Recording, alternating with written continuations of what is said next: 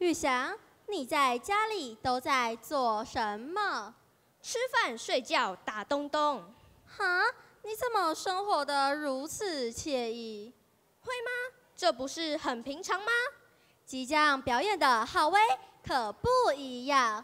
虽然他才二年级，不过弹到了一首好钢琴，让我们竖耳聆听黄浩威带来的个人钢琴演奏，在家里。